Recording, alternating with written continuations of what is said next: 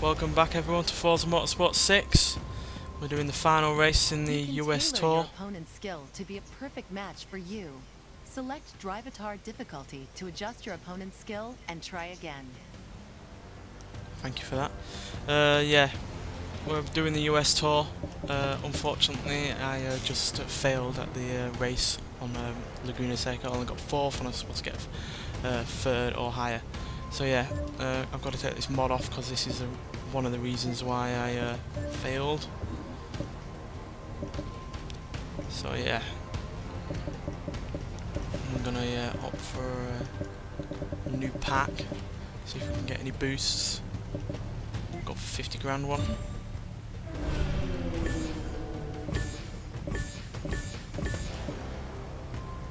Oh, we didn't really get anything really there. That though. So yeah, uh, I uh, turned the uh, steering onto simulation mode in the last episode, but as you can see here on the right it says, please note this is ma this mode is difficult with a controller, and I am using a controller, so it's evidently only really for uh, steering wheels, and even though I was doing alright, it snapped on me several times, and I had to rewind, and it just really broke the uh, flow of racing. So yeah, I've turned it back to normal, and to compensate for that, I've turned the dra driver difficulty up to expert. So yeah, I've swapped one out for the other. So yeah, should uh, hopefully make for some better racing either way. So let's start this one. This is the final race in the US Open Tour, US Tour, whatever. So yeah, do this one and then we'll move on to the next series, whatever that will be. Hopefully in a car I enjoy a bit better than this. It's so much nicer to have this gearbox that's working properly. No more slow gearing.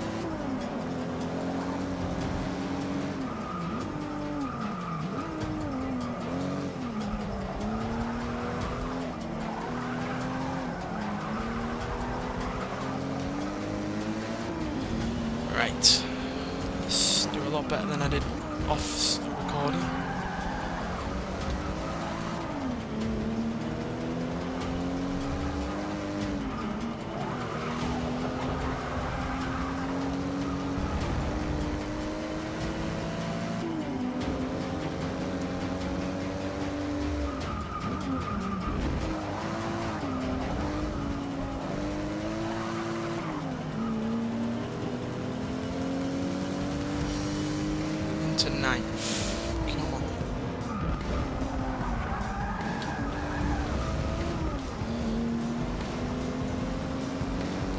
Two positions made up in one corner.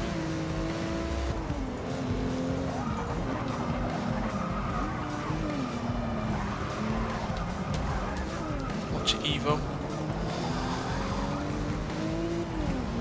Yeah, they were being far more aggressive when they uh, time that I uh, tried this that I haven't included in this video. When I uh, failed. And they failed even worse then. But yeah they were far more aggressive last time. Maybe they've calmed down a bit. Yeah it's such a nice relief to have a car that has a gearbox that's working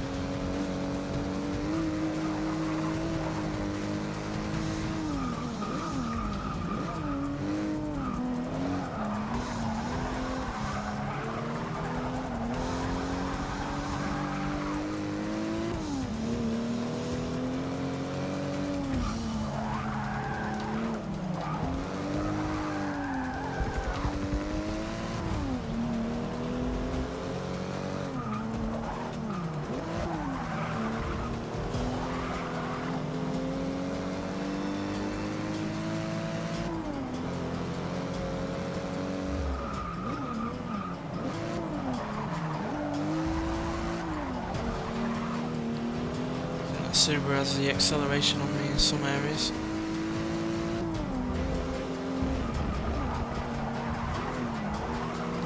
I think I have the handling, yeah. And therefore carry more speed for a corner and therefore more on the straight.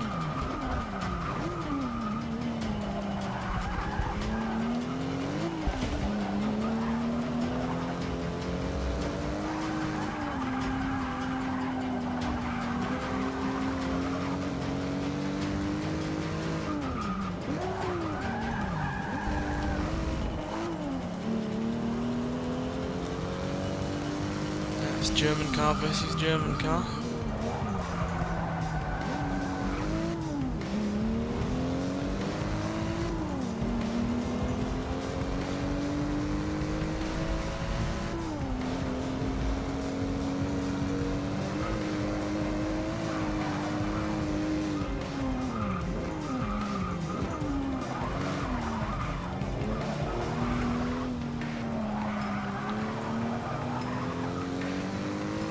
Goodbye, Mr. Audi.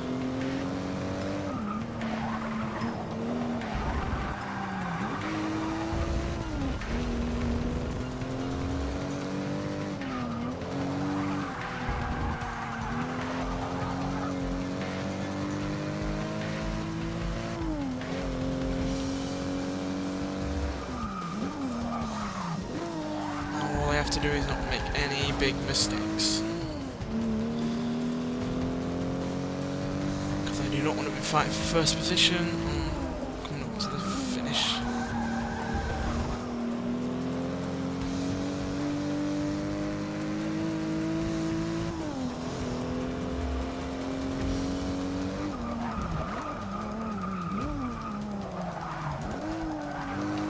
Whoa. Right with me then. Made a mistake,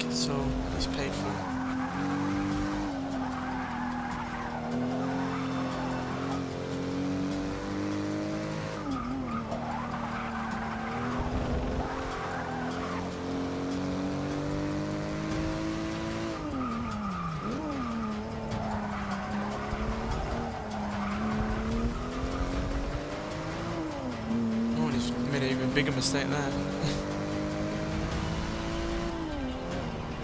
and into first we go. Solid end to the series, I think you'll find.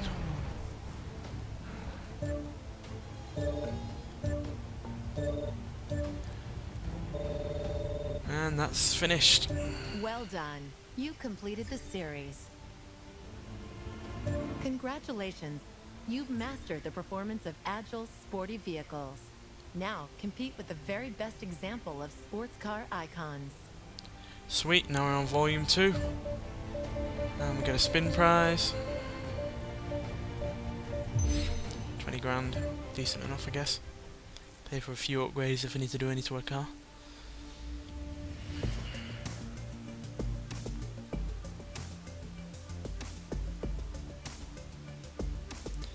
Wonder what cars we can choose out of this one.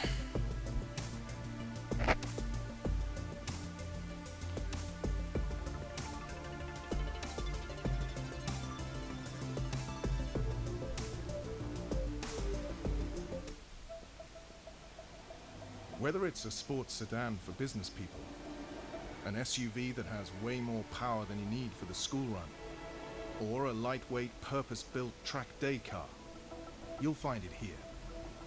Every car in this eclectic group represents the very best of its breed. They're the very top of the tree.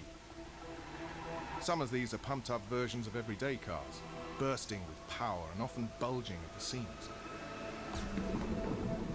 From classic 60s muscle to more modern sports cars, each car here truly represents the best driving experiences of their era. And, with the exception of the more extreme track toys, they show how far you can push a daily driver without sacrificing the comfy seats, soundproofing, and room for the whole family. Here, you'll take on the thrill and challenge of racing at night. Visibility is limited, and cooler temperatures affect how tires grip the track.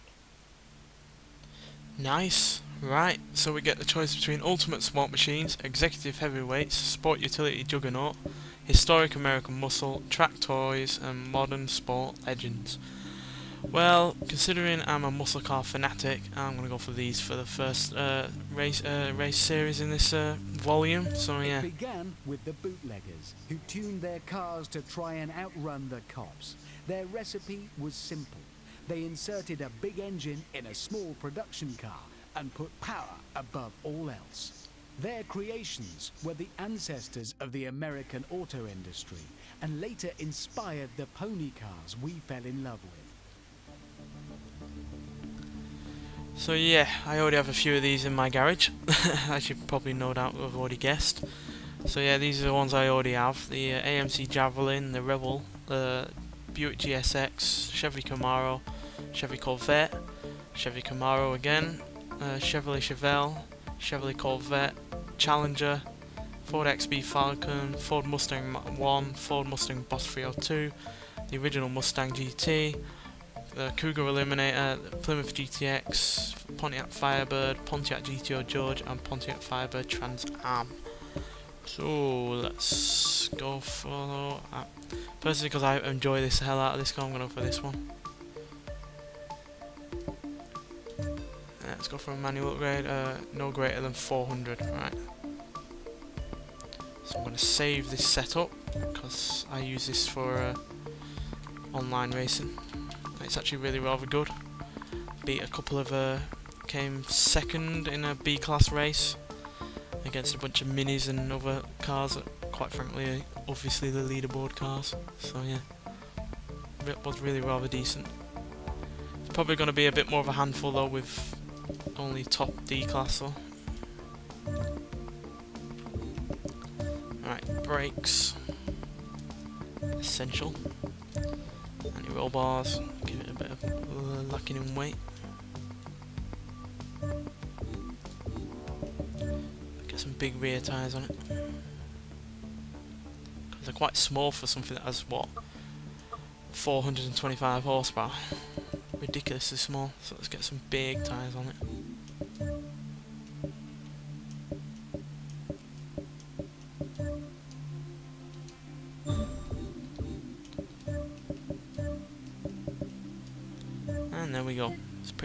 Pretty much all we can do.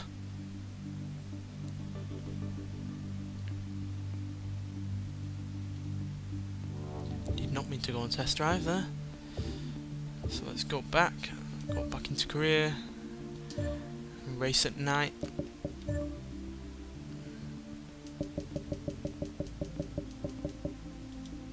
And we're at uh, Le Mans Bugatti circuit. Race will be at Le Mans, featuring the oldest surviving Dunlop bridge. I haven't been on this so far, I think, on the game. Certainly haven't driven it at night, and certainly not driven it at night in a muscle car, so yeah. This should be fun.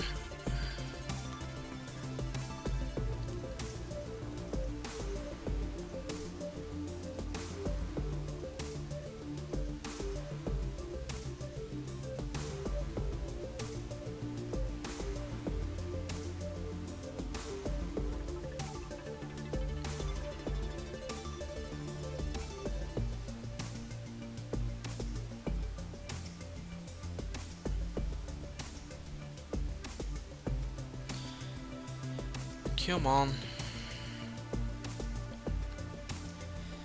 God, this game takes forever.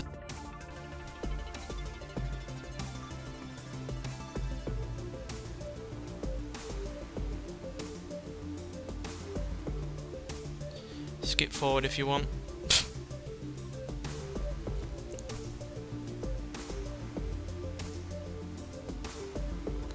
Finally.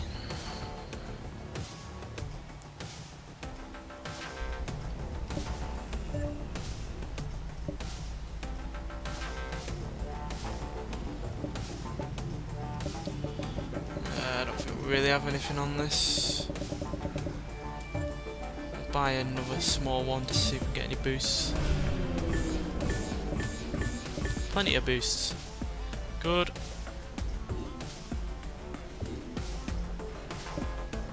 Get some extra credits. Some extra XP.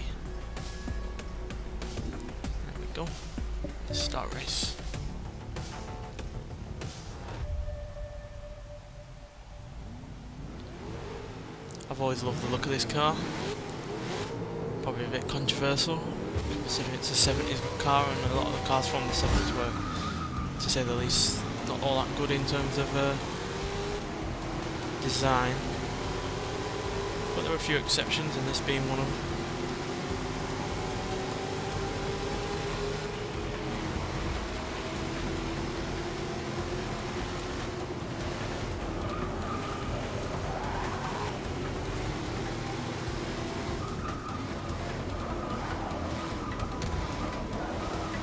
Show you being Mustang, God.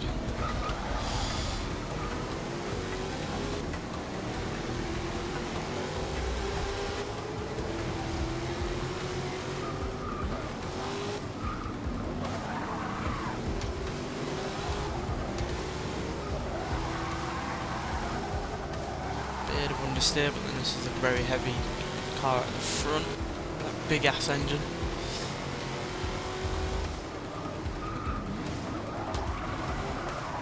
Doesn't really stop either. And there's a lot of body roll. All the classic uh, traits of a muscle car from the 60s and 70s.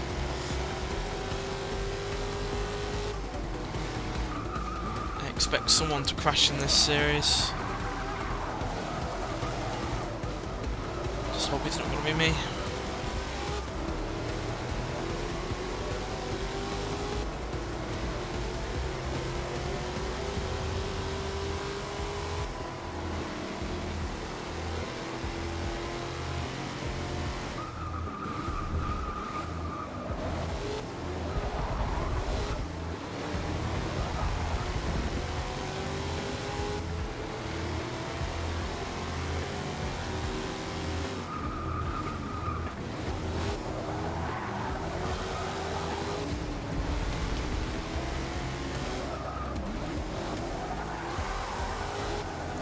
Good to see this car back in the Forza Motorsport series though, because I don't think it was in the fifth one.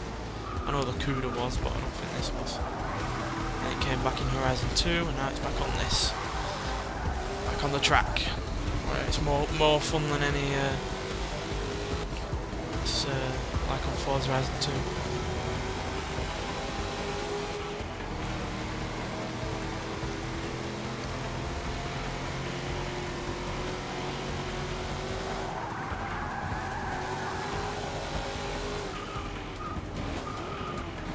Handles far better than I was expecting, but again we still do have traction control and ABS on, so maybe when we get further down the series we'll uh, take either one of them off.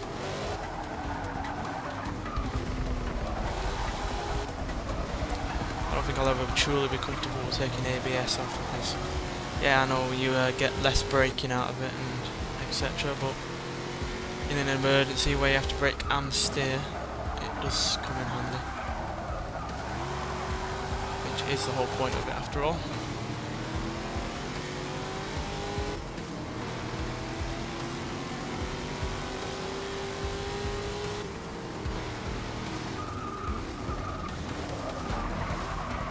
Uh, sorry Chevelle, or Nova even.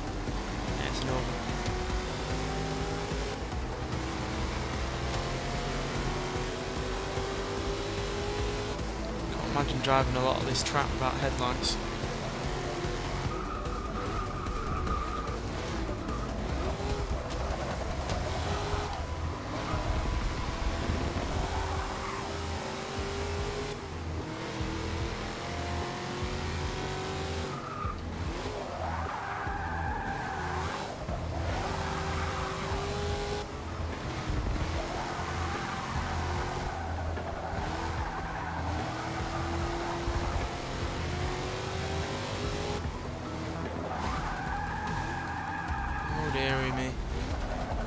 Much speed into that corner then.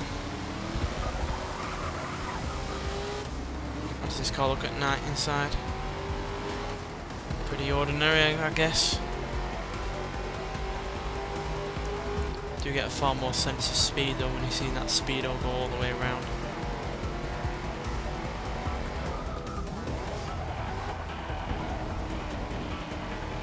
There's a really big steering wheel though.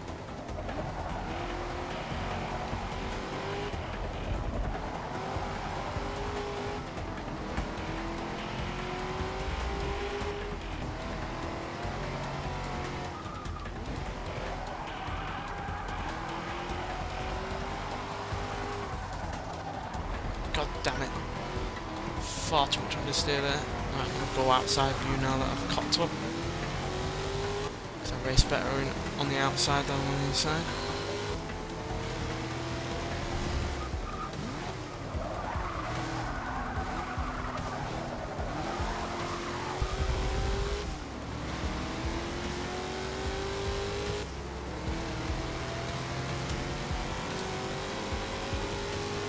This is one of the few muscle cars from this era that had a really decent top speed. So a lot of cars from that era ran out of steam around 140. Some ran out even before 130, like the uh, Mercury Cougar and the AMC Javelin. So, yeah, the car that doesn't really need much changing to it from engine's perspective. And, uh, and you're after something from this era in terms of muscle cars, and this is one of the better ones, personally.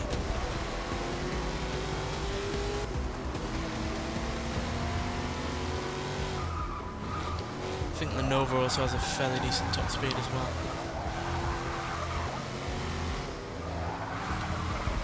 Not that it matters on this track. It's all about grip. And even though I'm in this thing, I still have more than that. Nova does.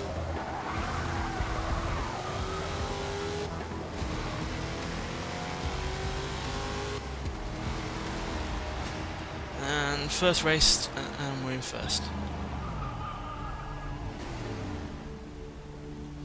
And we get some extra uh, money and XP as well.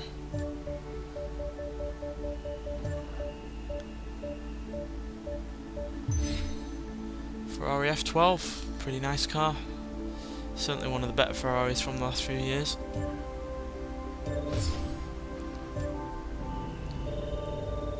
Anyway, since this is only a uh, five, no, one, two, four race series, we'll end it there. So yeah, thanks for watching, and I'll uh, see you in the next one.